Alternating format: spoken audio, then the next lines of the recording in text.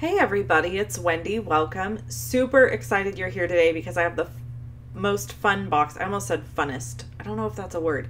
Most fun box for you. It's a tall and skinny gable box. Well, the fold at the top is a gable fold. So we're going to hop right in. I'm going to get started showing you how to make this.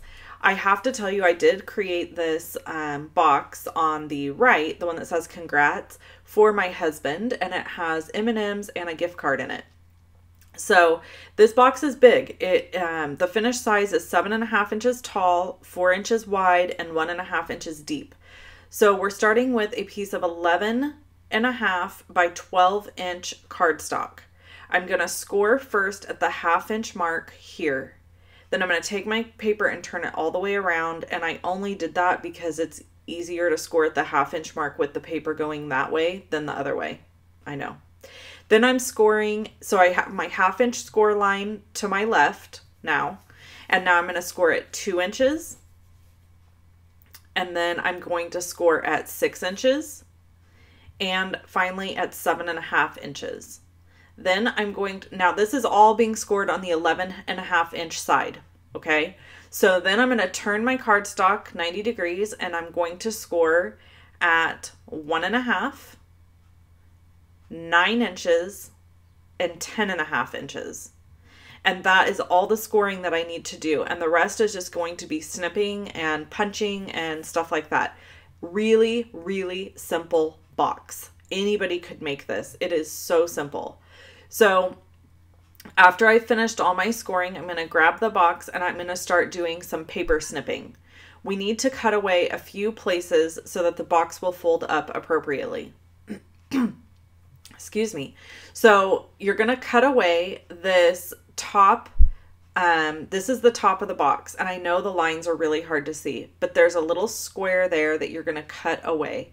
And that piece is not needed. So you're just going to cut it away and throw it out. You're going to go down at the bottom where you have your half inch score line and you're going to cut away this little bitty tab piece because again, it's not needed. So you're just going to get it out of the way and toss it. Then this is the bottom of the box. You're going to trim along the score line at the bottom of the box all the way up into the bottom score line. So we're creating the flaps for the bottom of the box here. Super simple.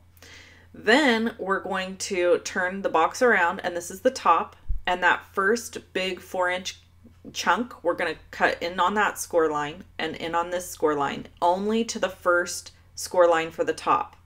Then we're going to fold up and over the first tab so that we can cut away this little center tab. And I'm sorry about my camera going in and out of focus here. I was really having problems with that um, throughout the day. Probably not, it's probably time for a new video camera. Okay, then I'm just going to fold on all the score lines. And I know some of this is out of the screen, and that's because I'm working with such a large piece of cardstock. So um, just be patient. So basically all I'm doing here is folding on every score line to make sure that this box will fold up nicely. And then of course the little half inch piece here at the end is my tab that closes the entire box. So for our adhesive, you only have to put adhesive in two places. And I personally chose to use tear and tape adhesive. So we're putting it along that half inch tab and then down here at the bottom on just one of the large flaps that are going to fold up to close the box. Now, I chose to put it on that very first flap closest to the half inch score line because that happens to be the flap that is the front of the box. I like all my seams to face the back of the box. So what I did, I realized very quickly I hadn't folded on these. Um, so what I do is I look for where my seam is going to be, which is this is my seam right here where I'm creating a seam. That is going to be the back of my box because it has a less pleasant uh, look. It You can see the seam and so I like my front of my boxes to be like a nice folded edge. So that's the back. So that's why I chose to put adhesive on the inside of the front flap down here. So now I'm going to remove this tear and tape adhesive and again, this is the only place that you need adhesive is on the flap that's going to close the box. So two sides in, back down, front folded up, And there you have it that folds and closes your box. And again, you want to use tear and tape adhesive or another strong adhesive. Now we're just going to push in on the corners and pinch, and that closes the top of our box. Isn't that a cool closure? So I'm going to take my classic label punch and I'm going to show you the trick on how to do all of this. I used a corner rounder because I wanted the top of my box to have rounded edges, rounded corners. And so you kind of have to hold these together and punch them and that's not the easiest task. The corner chomper I'm showing you here is from We Are Memory Keepers, and I will link to it below the video. In fact, all of the products that I'm using will be linked below the video in the description.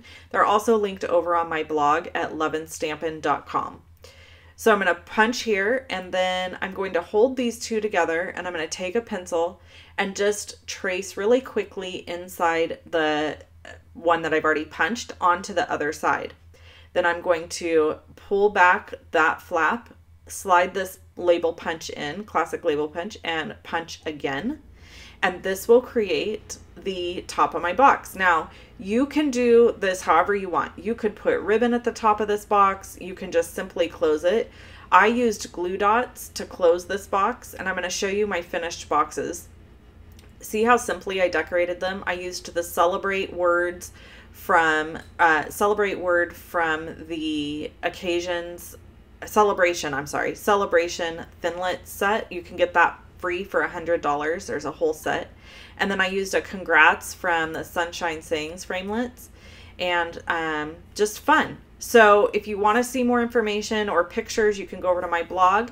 Click on either one of the images you see here to subscribe uh, to watch those videos.